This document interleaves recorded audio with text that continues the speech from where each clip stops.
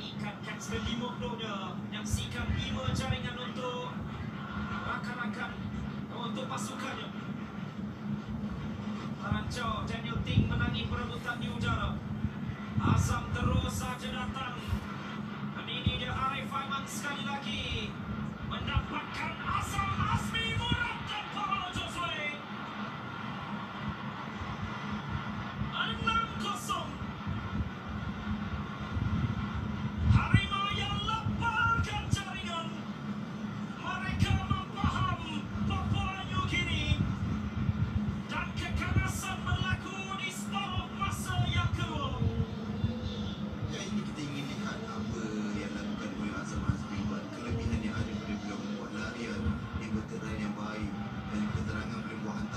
mudah jaringan ini dilakukan oleh Paulo Josue dia hanya membuat tapin di depan gol.